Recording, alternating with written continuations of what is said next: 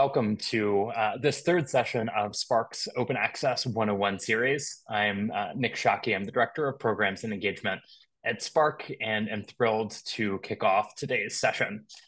We are organizing um, this whole series to provide uh, an entry point to open access work in libraries, as well as a refresher for those who are already doing this work. And we hope that the sessions so far uh, have have been helpful. And we are interested in how we can continue to build on these to provide a more robust support structure for those you know who are involved in doing this work uh, on campus. And as part of that, we are very interested to get your feedback both on today's session as well as on this series overall. Uh, so we'd ask that you take a brief moment after today's session to respond to the short survey that'll pop up at the close of the event uh, that will cover not only this uh, this event, but also has a, a, question about overall feedback for this Open Access 101 series so far. And because of the interest in the first three events, we are excited to announce today that we will be organizing a fourth event in the Open Access 101 series, with this one being focused on answering questions that faculty most frequently ask. Uh, this next 90 minute session will take place in a few weeks uh, on Monday, September 30th from 3 to 4.30 Eastern. And with OA week coming up at the end of October, our hope is that the next session uh, focused on commonly asked faculty questions uh, can provide timely support to folks as you prepare for the week and uh, the common questions uh, that come along with it from faculty. So as we start today's session on emerging issues in open access, uh, uh, invite folks to again introduce yourself in the chat very briefly uh, by sharing your name and institution. And um, in line with today's discussion, feel free to mention any particular emerging issue area um, that you are particularly interested in discussing today. It's been really interesting to see you know sort of the breadth of folks that have been participating in these sessions from um, you know different regions as well as from all different types of institutions. Um, we similar to the last couple because of the interest in these sessions uh, we plan to keep uh, today's event open past the top of the hour for an extended q&a if we don't get to all the questions uh, in the 60 minutes that we have allotted uh, however, please you know, don't feel obligated to stay um, at all. We will, like the other sessions, provide a link um, to a recording to everybody who's registered um, once it's available. So if you need to run at the top of the hour, if you're not, uh, you will have the chance to catch up on uh, the sort of overtime if we do do run long up to to 90 minutes. If folks want to stick around that long. Uh, we'd also enthusiastically encourage folks to share your own experiences and thought uh, and thoughts in the chat throughout today's session uh, as enthusiastically as everybody's introducing themselves now. Uh, but for questions specifically, we'd ask that you use the Q&A functionality uh, on Zoom, which will help to facilitate uh, the discussion with so many participants. Uh, it's helpful to have those there so we can sort of keep track of them. And uh, you can also upvote and respond to questions that have been submitted. Um, you know, that can help, you know, respond to them in real time, as well as sort of surface the questions that are of most interest to folks. And then lastly, I just want to mention again how thrilled we are to be collaborating um, with Maria Bonn, Will Cross, uh, and Josh Bolick in organizing uh, this series. Uh, for anybody that hasn't attended an earlier session, I just want to again highlight uh, their fantastic recently published book, Scholarly Communication, Librarianship, and Open Knowledge, which I will uh, drop a link to in the chat um, that really is a rich source of case studies about open related work in libraries uh, that's written by folks you know across uh, all different types of institutions directly involved in doing um, this important work locally. And their very complementary work uh, in the scholarly communications notebook is another really rich uh, resource um, uh, ever evolving resource uh, for folks interested in getting involved in open related work on campus so uh, with that, I will go ahead and turn it over to Maria uh, Bonn, who will lead us through today's uh, discussion. Maria. Thank you, Nick, and welcome everybody. It's, it's exciting to see you here. Uh, I will introduce the three of us in a minute, but I'll mention it was a heavy prep day for me because despite two decades almost in the classroom, I prepare until the last minute, and I was going to be talking to you all. And um, tomorrow morning for three hours. I'm in um, my classroom, which uh, gosh, some of you may have taken this class because it's been one of our required classes at UIUC forever uh, on libraries, information, and society. And uh, tomorrow, the topic is uh, community. And I always ask my students, what's a community of practice, do you think? Um, and how does it differ from a physical community? And the, the serendipitous thing here was I went, community of practice, that's what I'm spending the afternoon with a group of people who come together to share expertise, knowledge, experience. So of community practice I can talk about. So thanks for being part of that community and for being here. Um, I know that several of you have been in our, most of you, I think, have been in our earlier sessions. You know who we are at this point. Uh, but to remind, um, I'm Maria Bonn. I'm an associate professor at the School of Information Sciences at University of Illinois, Urbana-Champaign uh, which some of you may have known as GSLIS back in the day, but we've been under the new name for quite a while now. Um, I am accompanied and supported by Will Cross, and I will be handing the baton to him about halfway through our, our discussion today. Uh, he's the director of the Open Knowledge Center and the head of information policy at NC State University Libra Libraries. Um, and our third and very valued collaborator is Josh Bolick, who's the head of the Office of Scholarly Communication and Copyright at um, the KU libraries in Kansas. Um, he had some really pressing family matters today and couldn't be with us. Uh, so he sends his regards. I know he's with us in spirit. He was anxiously texting me just a little while ago saying, you all okay? It's going to be okay. We'll miss his expertise and, and his good spirit. Uh, so those are the three of us.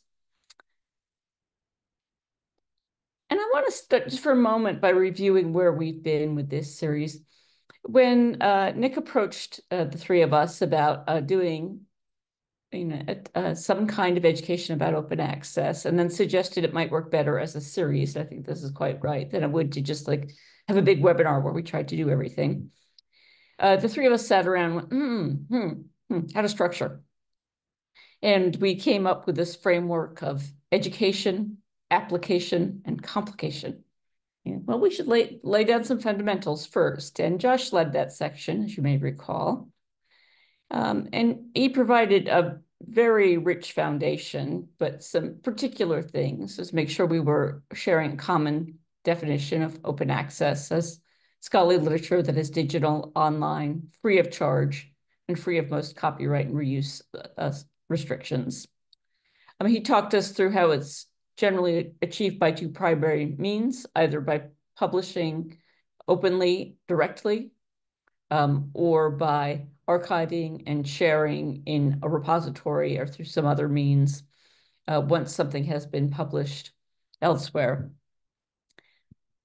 Um, he also talked us through the many motivations that scholars have uh, for participating in open access uh, and those uh, vary from very direct self-interest because it will help get money or it will help generate more interest in their work uh, to uh, a desire to engage more with the public, um, to have their work be free of charge, to have it be reused, redistributed, used easily in teaching. There's a number of reasons why scholars may, may be motivated to participate in open access.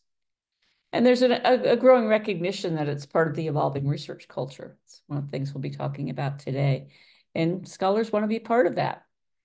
Uh, but we also recognize, and Josh talked us through some of these, that doesn't mean that there aren't concerns, worries, anxieties about open access as well. And even though we've been talking about it for, we say good three, three plus decades now, uh, hmm, hmm, do we have to work? Is, is this thing for real? Um, and uh, scholars are concerned with the impact of publishing and participating in open culture on their promotion and tenure. They often recognize there are costs associated that they may not know how to support.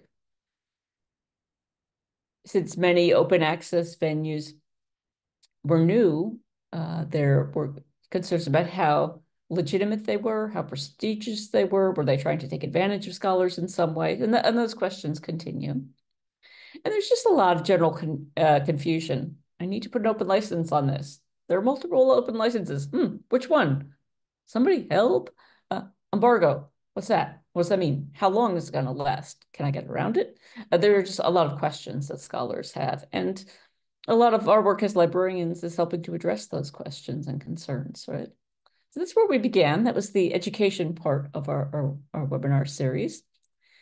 Um, and then we'll moved on to application. How does this actually work on the ground? Uh, what do we see libraries, librarians, campuses doing? How is their work changed, shaped by a desire, willingness, or requirement to participate in open access, to support open access? Uh, so we'll talk us through some ways in which uh, libraries are using their, their purchasing power and their funding uh, to invest differently rather than just straight up subscription and licensing models, ways that might optimize openness. Um, he talked about libraries and librarians as educators, uh, helping scholars to understand this, this environment, and also helping them to understand how open access and open publishing can help build their scholarly identity, can further their impact. And how do they track that? How do they identify that? How do they describe that? And he gave us some excellent examples of back to community, build, building community, working together um, across institutional and disciplinary boundaries uh, to, to build towards the common the common good uh, th through a focus on open access. So you get to show us lots of places where it's working. And then I don't know if I drew the short straw, it's the long one. I got complication, you know, I got the hard stuff. I got to be where we, you know, go in the weeds. Uh, what we told you when we um, described what the situation, what this um, this webinar would address uh, we said that open access has gained considerable traction over the last three decades. And its principles and practices are widely ap applied across scholarly disciplines. But that application and its adoption has surfaced a number of technical, ethical, financial issues that have complicated adoption of open access. As it's evolved, so have the possible barriers and the dilemmas that prohibit universal adoption.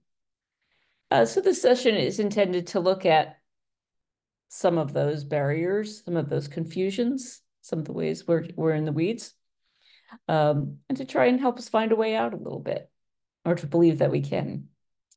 But see, if you've been with us for all three of these sessions, you might say, uh, wait a second. We've kind of been in the weeds the whole time. Uh, because I think one theme that we've seen in our discussions and in your questions in the chat and the Q&A after in some pre-work we did and um, some of you generously responded to a survey asking what your concerns were is that open access is pretty complicated and has been for a while. There are requirements from institutions, there are requirements from funders, there are requirements from publishers. They may conflict. How do we resolve that? Open access gets complicated in new ways when we think, well, the journal article starts seeming like a pretty manageable unit. It's not that it's easy, easy to figure out how to open access to journal articles, but it's a, a contained unit. It's finite. And then when we start talking about things like data sets, scholarly monographs, all, kind, all kinds of scholarly outputs, are the same, same kinds of questions and requirements at play? There's a, a long been a, a concern about we we open this stuff, it's out there in the wild. Somebody taking care of it? Is it still going to be around in five, ten years or next year when I click on that link? Is it still going to be alive? Um, we've had continuing barriers to universal discoverability of open materials. Libraries have improved their ability to collect open materials and make their uh, users aware of them, but it's work in progress. Um, and there's certainly many questions uh, about how to support it financially. Um, and we've got all kinds of possible financial models, transforming our subscription models to open open models or pay to publish models. The authors uh, can can pay pub, uh, publication charges. Um, institutions or organizations can just decide it's on mission and that's what they're going to support. Uh, but we don't have a universally accepted and adopted financial model. It's all been complicated um, and continues to be so. So we said this um, session would be about emerging issues, and it will be. Uh, but I think that there are some enduring issues that we still need to confront, acknowledge, and work together as a community of practice to address. Um, and I think that as we see by the robust registration for this series, one enduring issue is it's just hard to keep up. Um, it's a rapidly changing, fast developing landscape. And we're all busy working professionals with a lot of commitments. So like, oh, oh, what's this new thing? Quick, I have to get online. I have to find a friend. I have to get a webinar. I, it's hard to keep up. Um, that's certainly an uh, enduring issue. And I think at, at root, a lot of our enduring issues with opening access are that we we still live in a capitalist, market-driven economy for the most part. Um, and that means that there's um, economic disparity, that there's unequal access to resources. And that can limit the ability of individuals and of institutions to participate um, in open access efforts. Um, it seems trite to say things still cost money, uh, but they do. And, and navigating that and figuring out how to make that more equitable, how to spread the costs uh, around a little bit more is an enduring issue. And an issue that's uh, endured for quite a while is the scholar's question that I, I indicated earlier.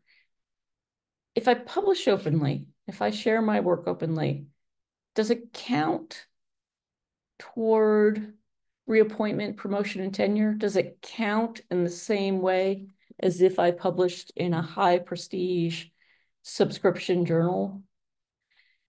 And I, I'm close out as an enduring issue. It was intriguing to me that when uh, Will and Josh and I were brainstorming emerging issues. Emerging issues, what are they? Uh, Will and Josh called out concerns about promotion and tenure. And I sat back as the, oh, you know, long in the tooth professional. I've been around a bit longer than they are in the profession. I what you talking about that as a emerging issue? That was like, I've been dealing with those questions since we first um, uttered the words open access.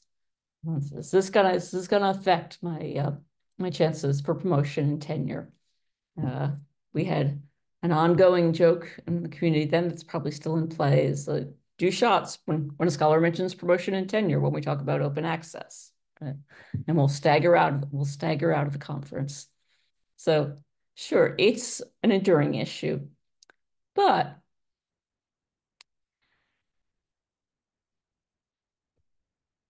what I began to think about as I talked more with my collaborators is that what's emerging is not the question, but our attempts to address the question and take it seriously.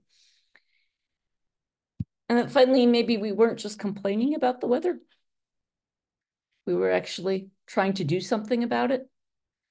And that individual educational institutions and through consortial efforts and through organizations that support our work are all trying to look at that question. How do we take uh, openness into account in promotion and tenure? Um, how do we make it count?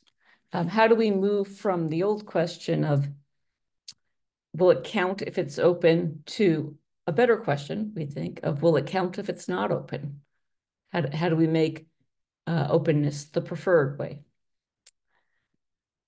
So a couple of ways that we've been doing that is that individual institutions are starting to look more seriously at how the public impact of a scholar's work uh, can contribute to their uh, promotion and tenure files.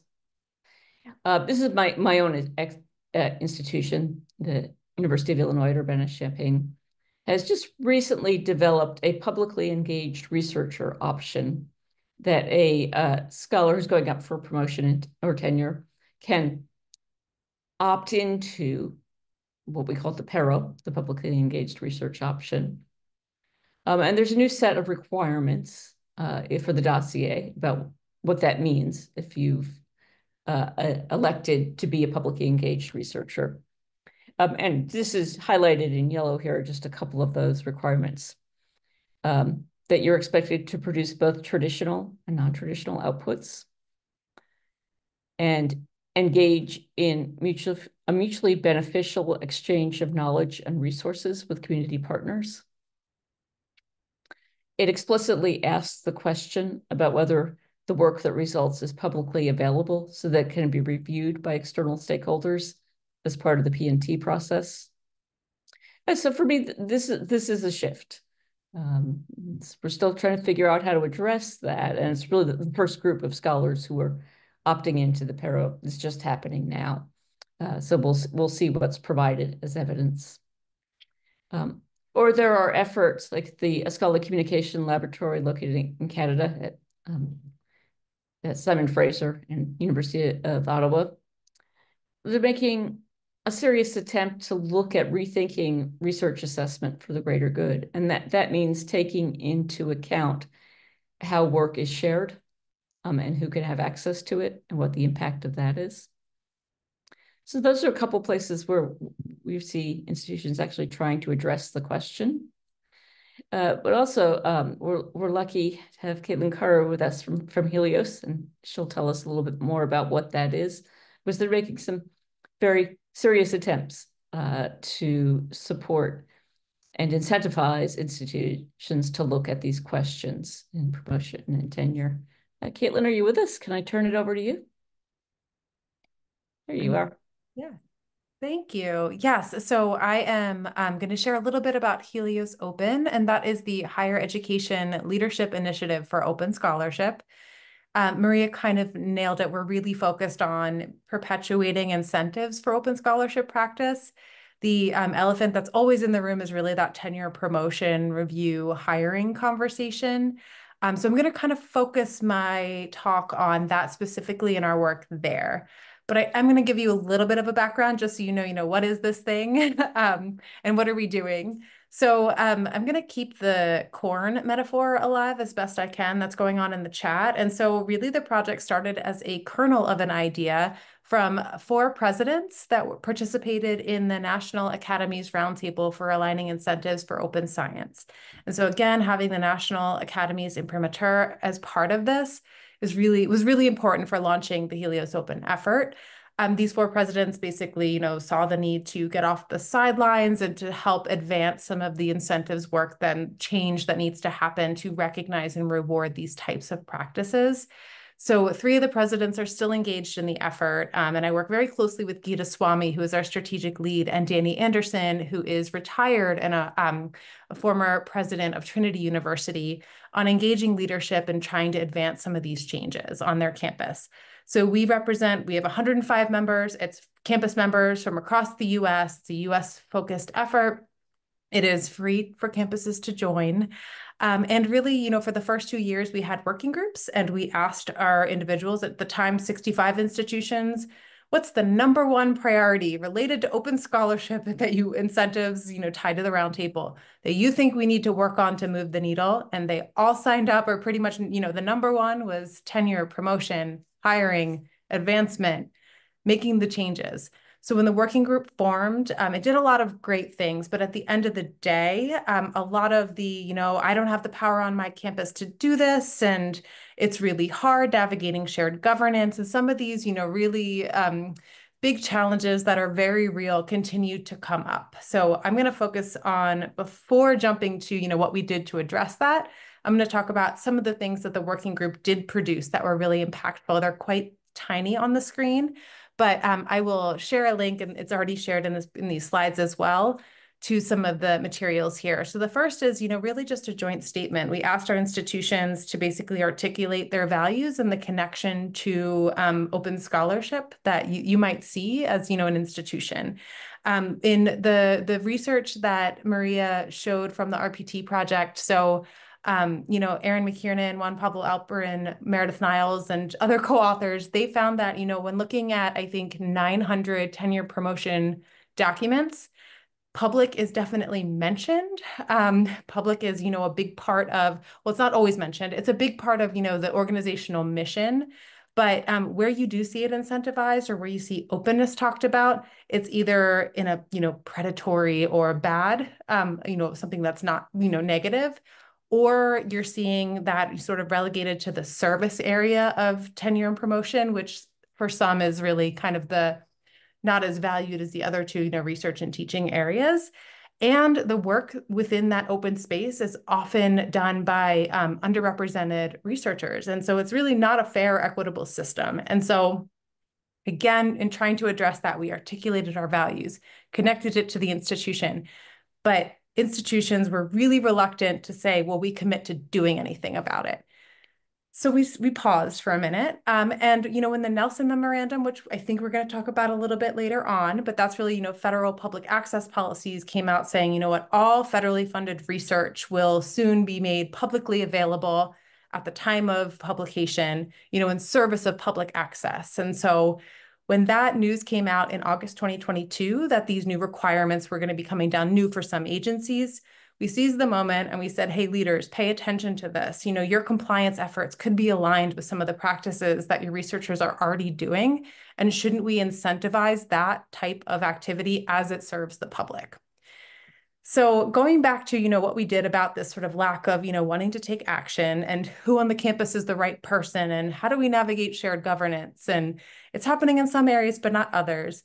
We put together a workshop that was NASA funded through Florida International University. And we basically asked some of the individuals in our network who have taken steps or who are actually changed their tenure promotion guidelines within their school or department what they did. What are your first few steps? And we brought this to leadership. We had 50 presidents, provosts, and vice presidents for research show up to a workshop in Miami to talk about their role in perpetuating culture change and change that basically explicitly incentivizes open science and open scholarship practices. Next slide, Maria. So if you keep clicking through, sorry, this is a moving slide, you can see that you know, one of the things that we talked about with the support of Danny Anderson, who came and facilitated this meeting. So he is, you know, the former president of Trinity University, and he has experience in executive leadership since his retirement. And he talked to the leaders, he met them at their level and said, there are lots of models for complex change and things you need to think about. And when you are lacking one of these things, there's a lot of challenges with the change. And so having this conversation framed this way, giving them examples of what the, the steps that leaders took, um, the policy language that some of them incorporated into their documents was really impactful, but so too is having a conversation about how you go about change and what to think about when you're doing it from the leadership level. I'm going to turn it back over to Maria, um, and thank you. Thank you, Caitlin. Uh, this is, I think, an encouraging culture shift. Right. So that's an issue that has endured but is also emerging. And I think that the requirements that funders are play, are attaching uh, to to their grant awards to the funding that too is both enduring and and ever emerging.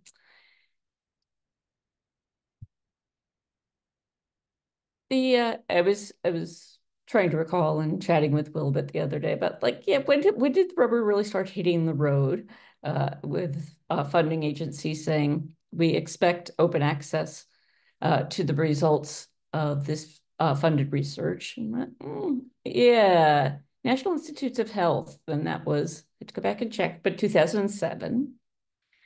Um, and that when the National Institute of Health began to require open access for the research they funded. And then sort of moved along into the Obama era and in 2013, uh, the ac increasing access to the results of federally funded scientific research uh, when the research funded by the large funding agencies began to attach requirements uh, for openness to the awards and has continued to move along. Caitlin just referred to what is usually called the Nelson Memo on ensuring free, immediate, and equitable access to federally funded, funded research. Like, wait, those are different. The, the words are kind of the same, uh, but is in fact a more expansive uh, and quicker path uh, to open access to research. Uh, so this has been developing over the course of, you have to do the math, but uh, we're working on 20 years now, still a little ways off from 20 years. Uh, and that's a very North American perspective. It's the what I thought of, it's the path that I have walked the most. But of course, it's not just um, North American and United States. There's another part of North America, our friends in Canada. And as my our Canadian uh, participants here to forgive me, I'm like, I'm trying to just, you probably are too, but I'm trying to get my head about the, around the tri-agency open access policy for publications. The, uh, the, the agencies or the Canadian Institutes of Health Research, Natural Sciences and Engineering Research Council of Canada, Social Science and Humanities Research Council of Canada, and they've coordinated on an open access policy requiring researchers to provide broad public access to articles resulting from funded research. So that's going on in, in, in Canada. And of course, things are going on in Europe too, um, and really internationally. I've, these are just a few examples, right? Uh, Plan S has been at work since 2018. Uh, it was launched by Coalition S, uh, and most lately, I've been hearing the claim that S stands for shock, although there seems to have been several um, possible um, uh, meanings for that abbreviation. Uh, but that was a consortium of, of um, national research agencies and funders from originally 12 European countries uh, and intent on uh, requiring research who benefit from state-funded research organizations and institutions to publish their work in open repositories or in journals that are available. And their goal was to do this by 2021. And I believe that that too is still a work in progress. So all these requirements, they're not all the same, but they kind of boil down to access to funding and other resources being tied to requirements for openness.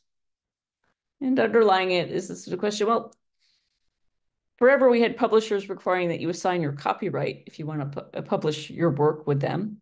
So why can't funders have requirements too? Why can't they require that you make the results of your research openly available? So this has had direct access, a direct impact on our work as, as librarians and as libraries and the organizations that support them it's not surprising that funding is a major driver for our own scholarship and for the for the scholars we support. And, and scholars acknowledge and recognize the importance of compliance and of participating, uh, but they also know it takes work to do it. Um, and I think that's where that's where we can help. That's where we are helping. And we can help by navigating the landscape of open access repositories and by helping authors to to choose the one that's most appropriate for their work and that will get it the most recognition. We can help authors understand versioning requirements. Which which version of my work? Does it has to be the final, copy edited, formally published? Uh, helping them to understand what, what they can and should deposit in order to share their work. We can help them to read, understand, and maybe even negotiate publishing contracts.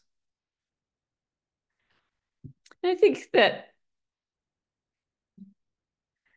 this is uh, the slide was just intended to uh, illustrate the plethora of requirements out there. Um, I'll talk in a moment, just a moment about resources. Um, I think we should also see that it has an impact on our work in providing opportunities. And it's kind of a, a, the, a truism, a cons consolatory uh, truism these days. This is not a problem, it's an opportunity. Uh, but there are actually opportunities here to build new relationships with scholars, uh, to demonstrate our expertise and our relevance, to be part of the research enterprise. Um, it's an opportunity to uh, to build new relationship with research offices on campus and the people who work in them as we all try to understand the division of labor and the roles and responsibilities in ensuring compliance and ensuring the success of our scholars' work, as well as ensuring that the, the funding keeps coming in. So it really is complicated. That was the theme for today. It's complicated. Um, and there's a lot to learn. But we should also remind ourselves that we're not alone. Um, that there's a community of practice here working on developing uh, resources and and eager to share those that can help us to understand that. Um, and I'm sure our friends at SPARC are probably working on this as we speak. Um, you can see that in 2022, they updated the OSTP policy guide it's 24, and I suspect I suspect we're going to see that reflected soon. Uh, but there's also the community of libraries and librarians working on this. Uh, here's just a couple of examples I pulled very quickly because like these are nice. Uh, this is from the Scholarly Communication Office at Duke, uh, helping their researchers to understand the new federal agency pu public access requirements and what it means for them. And similarly, colleagues at, at UBC helping helping their scholars understand what the, what is this tri-agency open access policy? How how can the library help? So there are resources out there, and you have each other as resources. You have us as resources, uh, all the people on this on the call. Um, so I started out, we were in the weeds. It was actually corn maze, right? Uh, we're not out yet right? But we have company.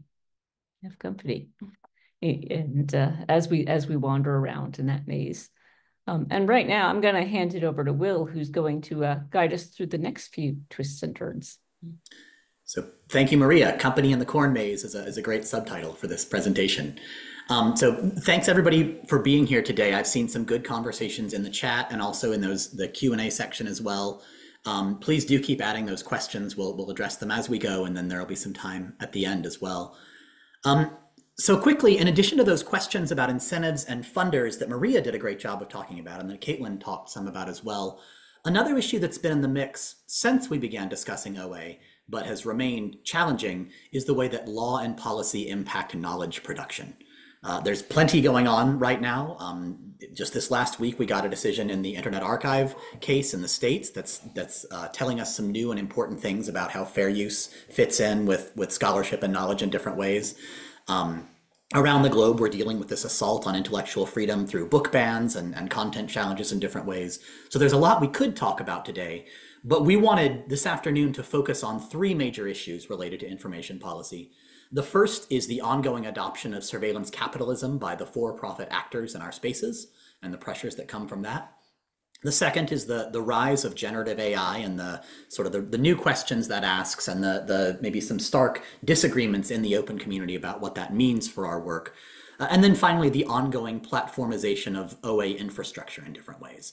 So I'll talk a bit now about the first two of those, and then I'm going to tag in Nick to talk about the third and some of the great work that SPARC has been doing there. So next slide, please, Maria.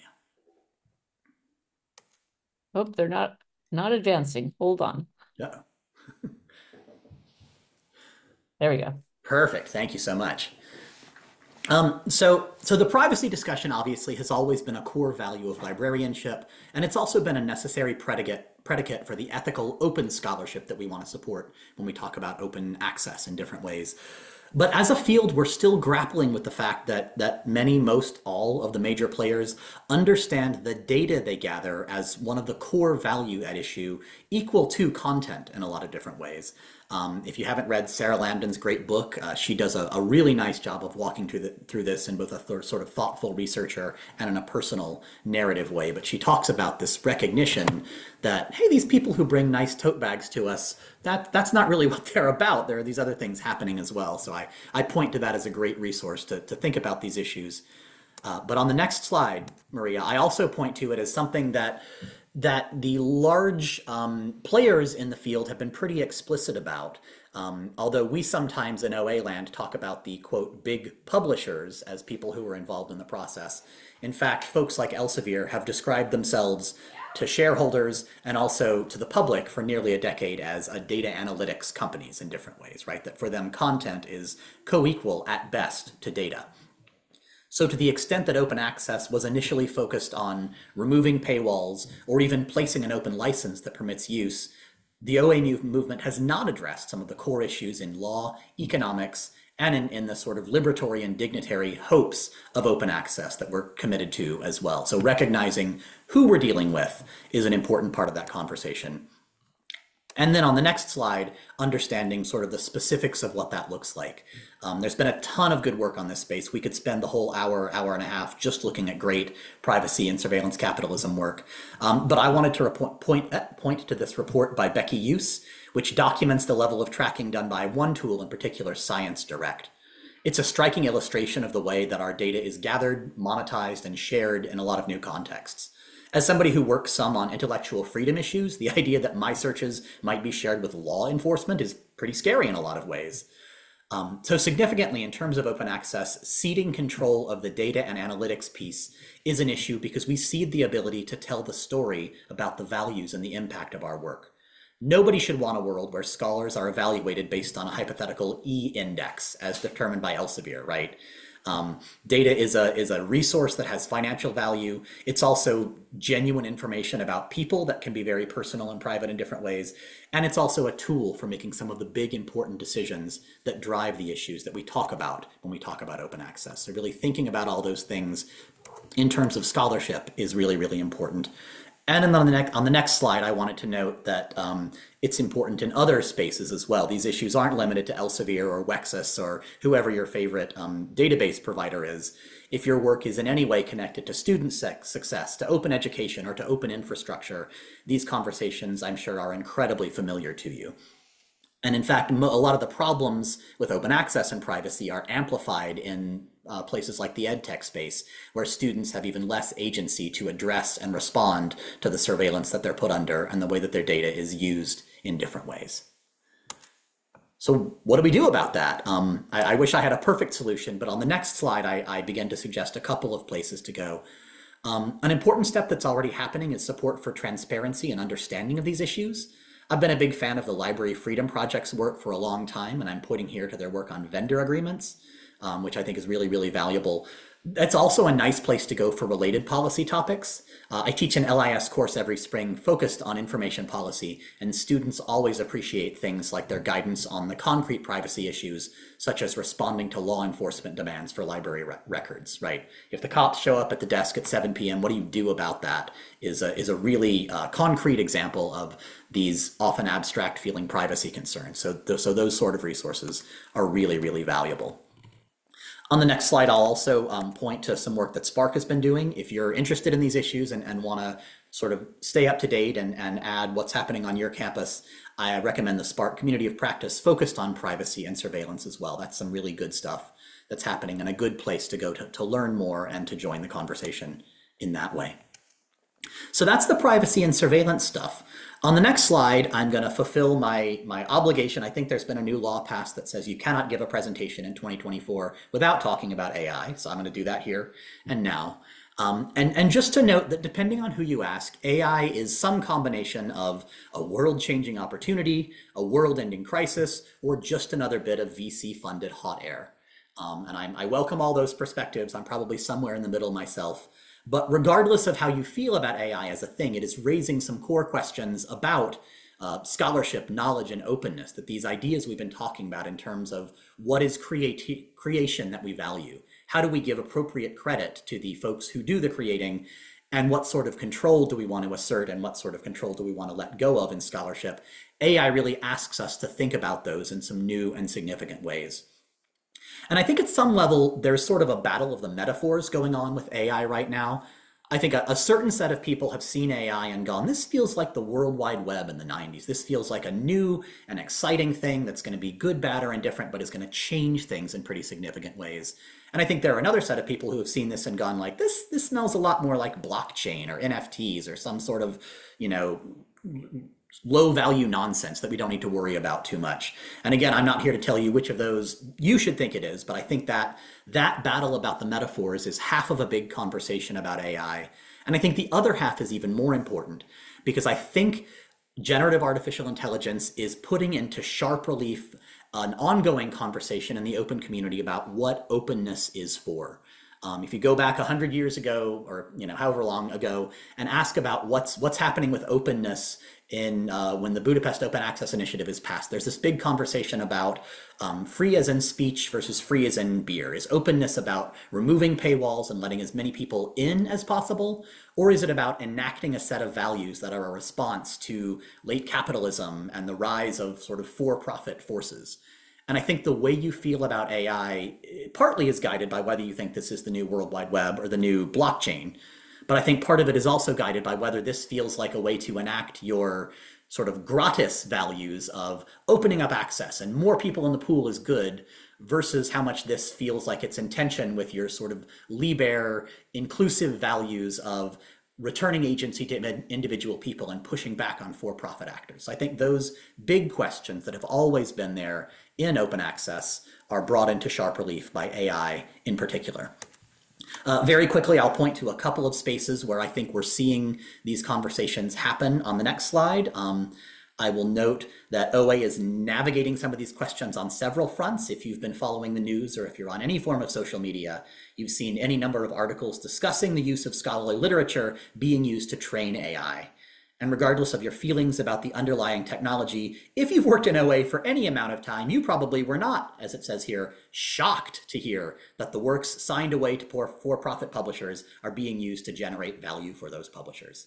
This is a really great moment and a really nice invitation to reassert the importance of scholars retaining and asserting their rights in different ways, right? My, my response to a lot of these articles has been, read your publication agreements. Don't sign them until they say what you want. Something I've been shouting at people about for many, many years at this point. So, so another opportunity to sort of reassert uh, the value of scholars and scholar agency in this space.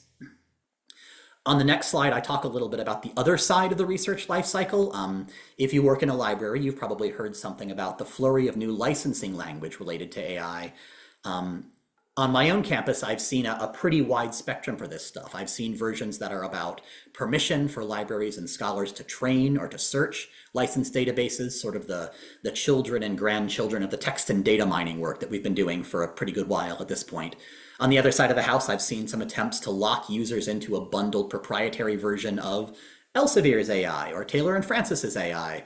Um, the way we respond to those issues is going to look different, but that's that's a, another way that it's been impacting the sort of day-to-day um, open access work that we have been doing. And then finally, on the last slide, I'm going to take one moment to jump onto a soapbox um, and say that that we're in early stages and all of our various communities need to keep having these hard conversations about what we want from our tools how we build and recognize knowledge and what sort of control we want to assert over the tools that we use. But i want to suggest one thing to you and that is that we look very any proposal that is grounded in strengthening copyright control for those folks who are concerned about AI, it might be tempting to step away from openness and say, if openness is making too much money for Microsoft or OpenAI, I don't know if we can trust openness.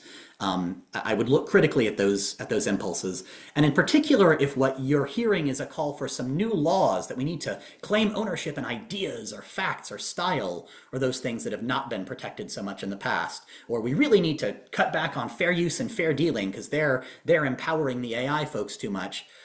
I hope you will take a second look at those things and recognize uh, some of the things that it says here. Recognize that propertization of information ownership has always benefited the people with structural power at the expense of those without structural power. That if you create a new property right in the idea represented in a journal article, um, that is going to redound to the folks who just got another round of VC funding for several trillion dollars. That's not going to redound to the benefit of individual scholars.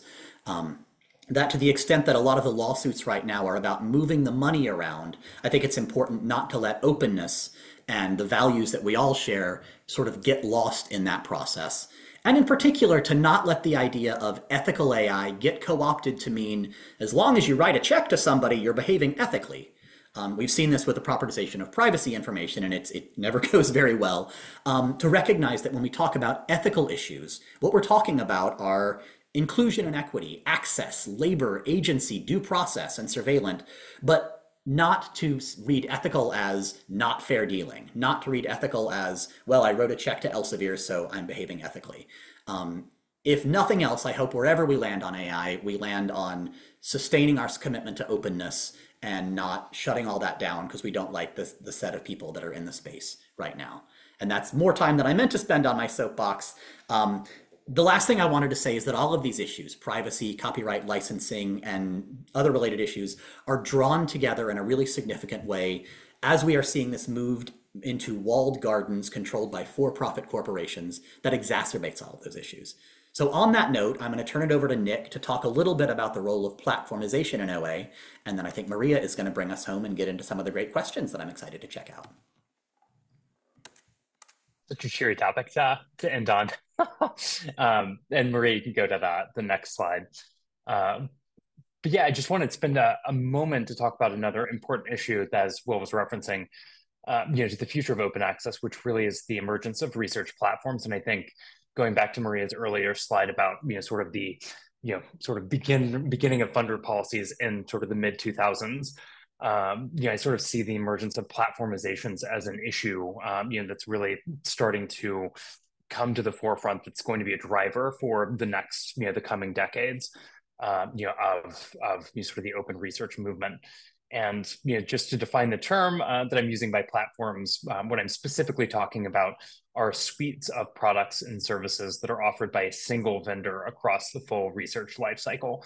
So from literature review and discovery to publication to research assessment, even to you know faculty information systems and even university rankings. And uh, the image here that some of you may have seen uh, um, is from 2018, two early career researchers at the University of Toronto Scarborough, Alejandro Posada and George Chen, along with their advisor, Leslie Chen, uh, published this map of the academic knowledge production process. And on top of it, as you can see, they overlaid um, the, that process with the products offered by one, um, one vendor in this particular case, Elsevier. And you know, I think the main takeaway from this image is, as you can see, uh, they found that there were relevant Elsevier products at nearly every stage of the knowledge production process. And you know, I think you and the faculty that you work with, even some of the students, um, you know, are likely very familiar with these products individually and may use many of them on a regular um, or even da- daily basis.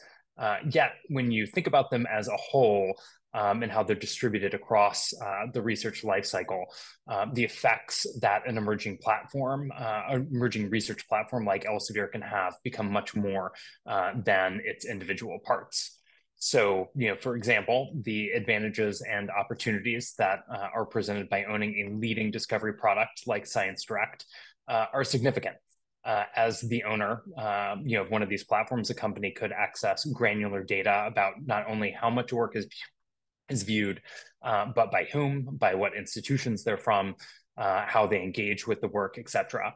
Um, you know, better understanding this potential for data collection uh, you know, was a driving motivation for the science direct analysis that that was mentioned earlier. And so when the same company also owns a research analytics business or a variety of research analytics businesses, you can imagine the opportunity uh, that this could present to generate new metrics products for institutions. Um, you know, that might be advertised to give them a competitive advantage through things like insights into early impact years before they're visible in a citation graph you know so who is reading an article and how they engage could be baked into these kinds of new metrics you know, you can imagine a similar pitch to funders, both in guiding future grants and assessing current and past awards. You know, and while I don't uh, have time to delve into uh, detail here, there are similar ways that products at different points in the research lifecycle could be similarly leveraged. And I also want to be clear here that I'm not implying that Elsevier is currently engaged in these actions. Uh, however, the fact uh, that it is increasingly possible for one company to do so should be very carefully considered by the research community. And so, you know, sort of looking at this graph, uh, you know, if one company owns products with a substantial adoption rate across key stages of the research lifecycle, it really does create a qualitative shift in the role that company can play. And that's where the term platform or platformization becomes apt. Uh, you know, if one company has significant influence over how individuals find and access academic information, uh, over publications in the publication process, over research analytics and metrics, over faculty information systems, uh, over even things like university rankings, that company really shouldn't be viewed as simply a publisher or you know an individual service provider, um, but really as an intermediary in the research process itself. And as research platforms mature, it becomes increasingly uh, difficult to avoid engaging with at least parts of them when conducting research, um, especially some pieces like analytics products or faculty information systems are largely out of individuals' controls. So, you know, the company that owns all these uh, you know, sort of different pieces, their role becomes much closer uh, to that of other online platform businesses, such as Google, you know, which is an intermediary between you know those searching and websites they may visit, uh, or Amazon, which is an intermediary between consumers and products they may purchase. You know, so particularly, um, you know, given the rightful scrutiny on other tech companies, uh, you know, we should really carefully examine the potential for negative impacts of similarly structured businesses uh, in the research and education environments. Um, you know, and honestly, whether they should be allowed to exist at all. And while, you know, especially because we're running short on time, I won't delve into detail, but SPARC is actively working uh, to address the risks associated with platformization uh, of research in a number of ways. You know, it includes everything from better understanding the potential uh, for data collection that drives these platforms, like the Science Direct report, to supporting libraries to take action um, in addressing privacy risks uh, through the privacy and surveillance community practice. Um, you know, also things like you know, educating regulators like the FTC and the Consumer Financial Protection Bureau about these risks, you know, taking action to oppose relevant, you know, mergers and acquisitions when they take place. Uh, but lastly, I'll just say, you know, the broader work that SPARC does and that so many people on this call are doing, uh, you know, from policy advocacy to strengthening repositories to negotiating more assertively, you know, all also fundamentally address the risks uh, posed by these platforms by strengthening community aligned uh, and community governed.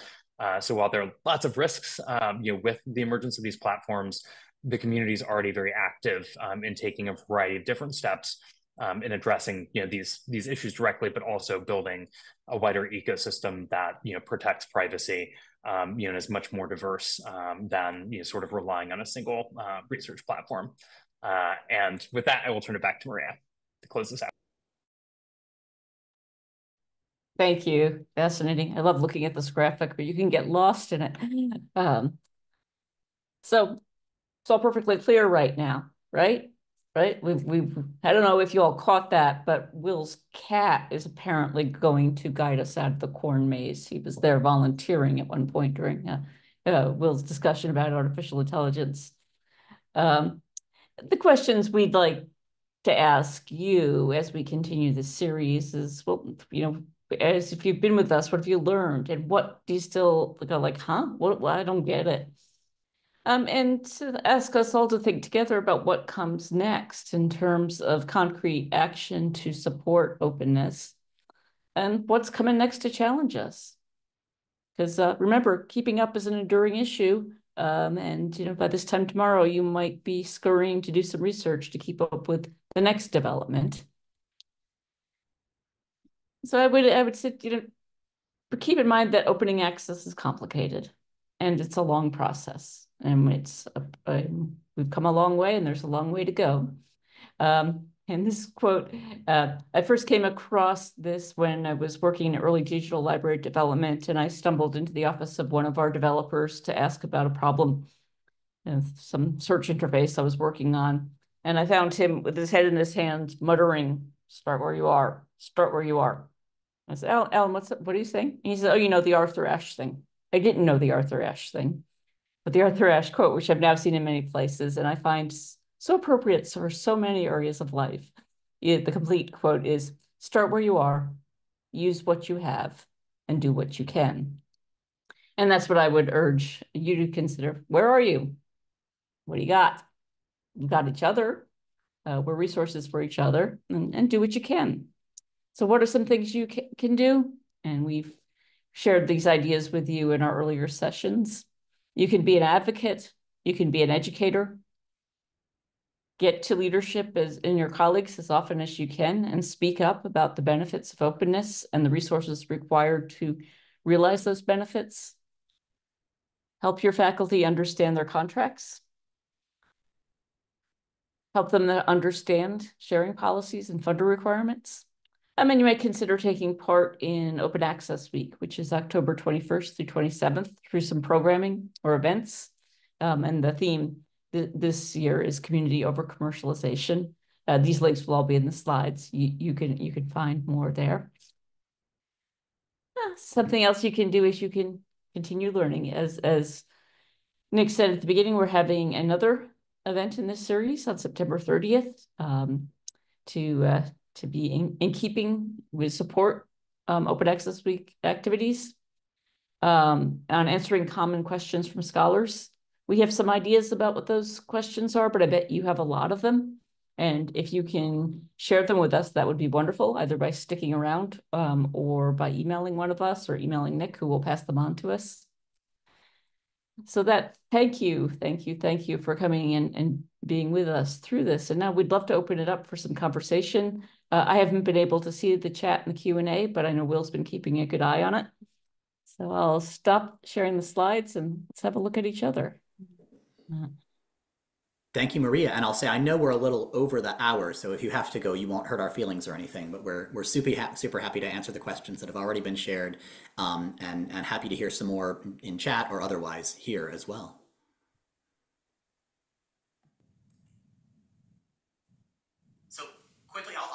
One that, that was addressed towards the, the privacy piece in particular. Uh, Kate asks, I see how surveillance capitalism is, is, an issue, but I'm not sure I see how it relates to OA. Can we clarify? And I'll offer an answer to that, but Nick and Maria, I'm sure, and Caitlin too, I'm sure you have good answers as well. I'll say I think there are at least two pieces for it. The first is to the extent that the agreements that we sign for licensing materials um, makes that possible that we have an opportunity as actors in the open access space to um, either permit that to happen or to push back in different ways. And I think that's important for everybody because privacy is important for everybody, but particularly in an environment where surveillance is used to harm um, precarious scholars, minoritized scholars, and scholars that are doing the open and public work that we really hope is going to happen more and more with open access. That the, the ability to control the way your data is handled and used and shared with other folks um, can either be a, a benefit to or a do real harm to the open values that we hope our scholars will put forward. So that's sort of my answer to that. But Maria and Nick, I'm, I'm curious what you all would say about that.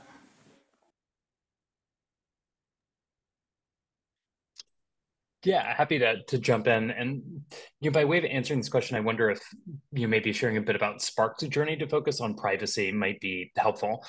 Um, you know, so sort of this came to light for Spark when we sort of increasingly recognized the need to think about privacy in a similar way that we think about equity, right, as something that needs to be built into the foundation of the future for open research rather than like something to worry about down the line, that it should inform like how we at our core approach um, this work and that we you know didn't want to reach a future for open research that was sort of open as in Facebook, where you know you can access things nominally for free, but you're paying for them in very real ways that are often very intrusive um, you know, and just projecting out the way that you know large publishers were starting to think of themselves as information analytics companies.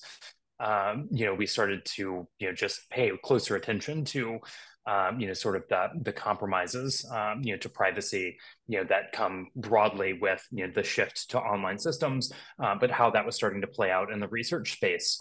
Um, you know, and so it took us some time to get our feet underneath us to sort of understand this environment um, to sort of articulate what a role for SPARC is, um, you know, around privacy, which isn't, you know, an issue that people typically associated with, you know, sort of SPARC, like the open research, the open education people.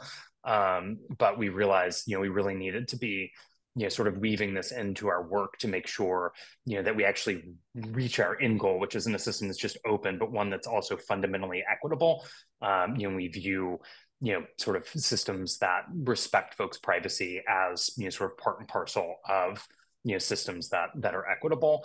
And as we've you know sort of delved into this topic it's become clearer and clearer you know the increasing extent of both uh, you know collection and monetization um, you know of user data and the way that that can be you know monetized between different business lines um, you know that are not only like concerning for you know like the data uses that you know may negatively impact you know faculty or may you know violate libraries privacies related to to privacy but they also could have significant effects on things like consolidation um, right? If one vendor is hoovering up lots and lots of user data and say discovery platform, um, you know, that gives them information that they can then use in a publications business to identify fields that may be right for a journal um, before anybody else, to identify editors or reviewers or others and recruit them before anyone else, um, you know, to scoop them from others. Um, you know, so that's just another example of how you know you can use data from you know sort of one part of the research lifecycle to benefit another. But there are lots and lots of them. Um, but hopefully that gives you a sense of um, you know sort of how um, you know the increasing amount of data collection um, you know that sort of falls under that umbrella of you know sort of uh, you know uh, what Will was getting at re- related to surveillance capitalism. Um, you know is pretty central, uh, is a pretty central issue for the future of open research. Sorry, that was way longer than I was intending. I'm gonna get off my soapbox. Really helpful, Nick. So, so another question here is how do we talk to faculty about the truthiness of metrics? And Maria, I'm interested since you teach teach folks to have these conversations. How do you help your students think about talking to faculty, and how do you talk to your fellow faculty about metrics as giving some information, but maybe that being imperfect or flawed or maybe even dangerous information in some ways. It would, um, I don't know if any of you saw several years ago now, it was a participant in the Hyde Park debate at Charleston. And the uh, topic for the debate was altmetrics are overrated. Um, and I don't think it was fair because I had to debate a Scotsman wearing a kilt. I mean, it was it was I was said exactly like Sean Connery. It was all over right there. Uh, but my my way of approaching the debate was it's not that alt metrics are overrated. It's that all metrics are overrated. Um, and what I, uh, you know, I was being jocular, uh, but that what I, I sort of said, you know, it's it's about metrics, but it's more about the stories we tell with the metrics. Uh, we have some extraordinarily popular classes in my program now that are called data storytelling, which is you got those numbers. Now, what do they mean? Um, how can you shape a narrative around them? Um, also, we do data visualization in those classes. Uh, and that's one thing I like to um, engage my students in is saying, okay, we have various metrics and we talk about how those are collected and the history of citation counts and things like that. And then we look at things that are uh, co collected through various, uh, you know, Impactstory and altmetrics and the, the various companies that, that surface other kinds of metrics. And I say, like, how how can we assemble these pieces collectively to tell a compelling story about impact? And uh, that's one of the things I'm interested in that uh, publicly engaged research option. I showed that's just coming into being at my university uh, because that's part of what they're doing is like how do you how do you tell the story uh, if it's not just about what other scholars cited your work? Uh, so that's one way that that I do and always is just uh, you know we have to have a exercise our critical facilities and asking questions about the metrics how they're collected who they serve are they collected by for-profit agencies? For what purposes? Um, and to come to those stories. So it's another, it's a long-winded way of saying it's complicated, but but they are. What about you? What do you think? Well, it's a great answer, Maria, and probably more robust than mine. I'll say I teach a, a, regular workshop on scholarly identity, and I bet a lot of people have a story like this. And one of the slides that I use is there's a famous article, the title of which is "Is uh, something something something some long time scientific term question mark?" and the abstract is no. and it was shared all over social media, so its altmetric score is off the charts. So if you were to say, "Oh, is this paper impactful like oh my god this is the most impactful paper ever written but in fact everybody shared it because it has a funny joke in it it wasn't shared because it was an amazing paper it was shared because it made people smile and that's valid but that's a nice way to get into the conversation of like is, is that impact in a way that that we really want to select for in terms of promotion and tenure and such um, and so that's that's a often a fun way to get into the conversation of like all metrics reflect a number, right? You, you, you can create a, you know, a calculation and then spit a number out of it, but that number only selects for the stuff that you told it to select for, if that makes sense. So just giving a factual description of like, this is the math for how your H index is calculated. Um, is that all we need to think about? Is that sufficient? And immediately people go like, of course, no, there are many other factors as well. So just sort of demystifying the the perceived magic of the number with some funny examples i find is often a way to get them to there's something there but it's not any more than than sort of the math behind it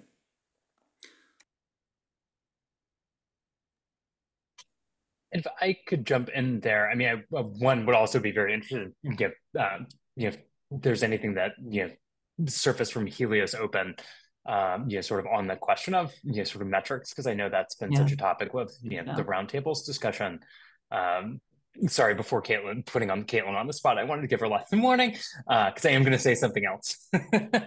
um, but you know, just one other thing that I wanted to flag that's maybe tangentially related, but in my mind, there's a, a connection, which is um, you know, eh, last year our ARL SPARC Forum focused on uh, members of editorial boards that had resigned, and one of the issues that came up, you know, there was, you know, sort of the challenge of leaving, you know, their, you know, sort of the original imprimatur that had things like, you know, impact factors attached to them. Um, and starting something new where the whole community came with it, but sort of the shell of the journal kept you know sort of these nominal rankings even if the real heart of the publication um, you know sort of transferred to the the new journal. And uh, I recently caught up with some of the folks that participated in that, and one of the the things that they shared, uh, you know, for Imaging Neuroscience, which is one of those journals, um, is that they've put up uh, an impact statement um, that sort of tries to directly get at this issue by speaking to how this journal um, you know, basically kind of, you know, speaking to you know how it was formed um, you know and the community that's come with it to start it and you know sort of explaining that transition and how you know it might look like a new journal but it's actually um, you know has a legacy um, you know that that goes beyond that to try to offset that issue with metrics uh, you know and allow folks that may need to be more sensitive to those metrics for whatever reason um, to still publish in the new journal imaging neuroscience um, so yeah, I just want to share that because I think it's an interesting way around um, sort of that that issue. I'll also just say I love uh, the intentional use of the word truthiness uh, there. It's like uh, it's perfect way to encapsulate uh, the issue with metrics. Um, yeah, Caitlin would be would love to hear if there's sort of anything that's cropped up there on the Helios Sure. And thank you for plenty of lead in time to sort my thoughts on that. Um, yeah. So, you know, one of the frustrating th things that I've heard, you know, not just in my career as a librarian, but also in, in leading the Helios Open effort and working with leaders and folks both who need to be sold on the idea that we need to make some of these changes to our policies and processes and reward systems um, but also ones who are like, yeah, totally, but how? Um, so one of the frustrating things is basically like we, you know, this is a vice president for research speaking, saying, I know the H index is a poor metric to use to assess our researchers, but it's the best one I've got. It's easy to count papers. I do not have time to read all of the articles that come from like my vast, you know, department or group of um, researchers in which I'm assessing. So a lot of our effort is, you know, obviously there are problems with that. And I think, you know, this person is someone who, you know, is really interested in advancing changes.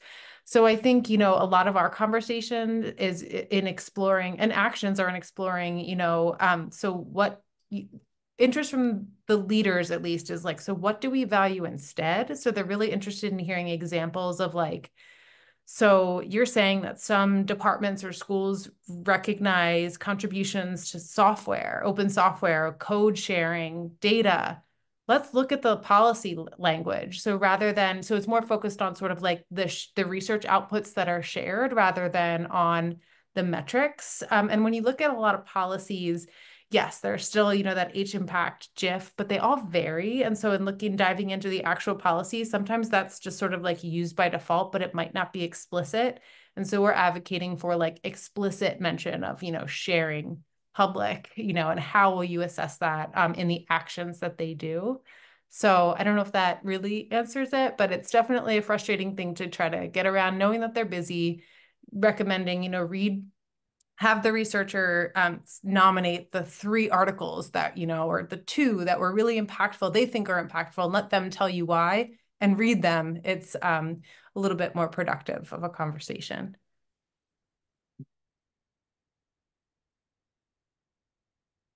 Thank you, Caitlin. That's really, really valuable. Nick, I see you'd like to answer a question live. Do you want to go ahead and answer that now? I realized I should have just typed the answer to the question, but yes. Uh, so someone had asked if there will be more um, webcasts on ethical AI, um, you know, open access and data privacy practices.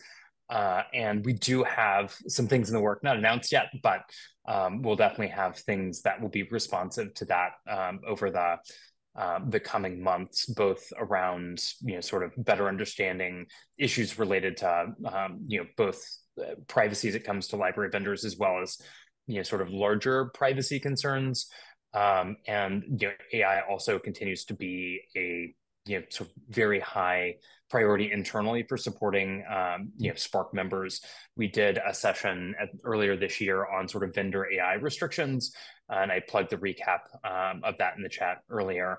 Um, but we're looking at you know what we might also do um, related to that, just given how quickly it's evolving with you know sort of vendors trying to force libraries to you know accept terms prohibiting the use of AI on licensed products. Um, you know that are quite concerning from a variety of reasons, and you know.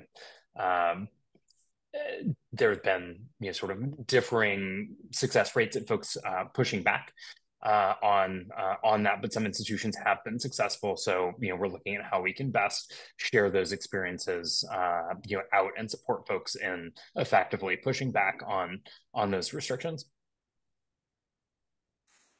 Thank you, Nick, and I dropped a link to that as well from Kyle, which is always fun. Um, while we're talking, I'm, I'm, interested. There's a question that I've, I've seen in a lot of different places, which is whether and how the use of LLMs to train widely is impacting people's perception of openness and open access in particular. I made an argument a few minutes ago that it, shouldn't be because one, if training is fair use or fair dealing, um, the openness or closeness of your stuff doesn't matter. But two, if you're signing all your rights away to a, a publisher, whatever rights you had to limit it are gone anyway. Um, but I could still imagine some people saying, this makes me feel the situation is different. I feel different about it. So I'm curious, Maria and Nick, if you have heard anecdotally or otherwise reports of people saying, I was a big open proponent, but this AI thing is just too squicky. I'm gonna, I'm gonna put up all the walls I can to keep people from using it. No, I, I think that I think what I've heard from my scholarly colleagues mostly is, well, if it's gonna happen, I want my stuff in there because I'm smart and I can make I can make that artificial intelligence more intelligent. Right? That they, they want that work reflected in the, the training of the large language models. Haven't heard too many concerns. The, the loss of control is always, you know, from the time we're little kids, right, is always perplexing, frightening. Uh, I want to hold on to control. So there's always questions about, okay, am I allowing this? Is it my call? Those kinds of things uh, larger questions of control, but I haven't heard too much concern. Um, I've heard more concern about how do we make sure it goes back to the discoverability question of open materials. How do we make sure that the good open materials are taken into account in training so that AI is smarter? I don't know. Do you hear different things, Nick? Uh, these are kind of anecdotal observations on my part. Yeah, it's the concerns have definitely bubbled up. Um, uh, you know, to I mean, not to say they're you know sort of all over the place, but we've you know heard, um, or rather, SPARC members have come to us, you know, sort of uh, surfacing discussions they've had, you know, sort of with a attention on campus around both, you know, sort of the the desire to you know sort of use as much you know, academic material as possible to train AI by like faculty involved in that kind of researcher for text and data mining. Um, you know, and then folks coming saying you know being less com- comfortable uh, you know with their scholarship um, their research being ingested by by ai you know it's something that we're following really really closely and looking at how we can best support libraries in navigating that discussion um, you know but i think one of the things that's very top of mind you know sort of in these conversations is uh, you know, folks are continuing to publish with the largest publishers, but ch- not choosing to license uh, openly out of that concern um, you know that it's it is really offering or that that path really only offers illusory protection um, you know over ingest by ai you know given what will talked about earlier with publishers striking deals with ai companies. Um, you know that path you know seems to really just guarantee that it's really just the the publishers that own the copyright um, that will be benefiting, um, you know, from uh, you know an AI licensing deal. Not that by not openly licensing your work, it won't be ingested. Um, you know, and so you know we're also looking at you know trying to highlight how you know the open licensing of works helps ensure that a broad range of folks can build ai models um, on you know the breadth of the research literature rather than that being limited to just entities that can negotiate for access um, to all of this content. Um, but it is a complex, you know, it is a complex issue, and we want to be sensitive to faculty's concerns. Um, so, you know, again, we're looking at this really closely, and again, how we can best support libraries in navigating, um, you know, that that tension and talking to to faculty that um, you have those concerns.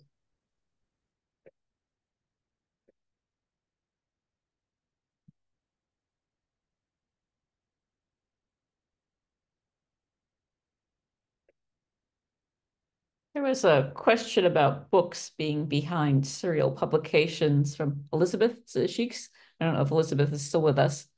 Um, I wasn't sure if the question was about the use of books or just the movement toward openness, if, if the scholarly monograph is still lagging behind the journal article in terms of embracing openness. And if it's the latter, I did I mention that it's hard to keep up? I know that there's you know a half dozen efforts to come up with models for open access uh, scholarly monographs. Uh, my old shop at Michigan, I know is there's is subscribe to open, not subscribe to open. Um, that fund to mission. That they all have something to something. Um, and there's several others. So I know that there's work underway, but it is a culture. The monograph culture changes more slowly um, and and scholars are still coming to learn about what the advantages might be of uh, open monograph publication. Uh, if others of you have, and I don't, may, will maybe you know, I don't know what's being done in terms of um, licensing for language model training uh, for, for books. Mm-hmm. There's the vast universe of uh, Google Books, whether that's being used as for training models, I suppose it is. I think if it's open, it's it's being used by by some folks at least. Um, and to the extent that those publisher, the right that this, a similar publisher might make books and serials available, you'll you'll see a similar set of deals set there. I just wanted to underline Robin's point, which is this: it's a whirlwind to keep up with all this stuff, and that's something we've said several times already. But um, you know, this this is the the tip of the tip of the iceberg that we've discussed over the past three weeks. I, I appreciate the great stuff being shared here and the conversation going on, and I, I know our next session is going to be another good opportunity to share some of those resources. Nick, do we have a way for people to suggest some of those questions that faculty ask? Uh, why, yes. Uh, in the the survey that will auto populate when we end the event, uh, they, the if they register, they have uh, the opportunity. Okay, that's great. Uh, yeah. So in the feedback form for today, uh, you can um, can provide you know a question if one's top of mind for um, you know uh, you know, basically, is there a, a, question that you know faculty on your campus may ask that you'd uh, like to have more backup in answering. Um, and we'll feed that into the, the next session on September 30th. And I think we had a couple of topics in chat that we'll look to as well, or in, in the Q&A section as well. I think those are the questions that I that I think we can answer here. Are there other questions you want to ask at this point, or now 25 minutes after we promised to let you go, or is your patience wearing thin and you really do need to go to that next session?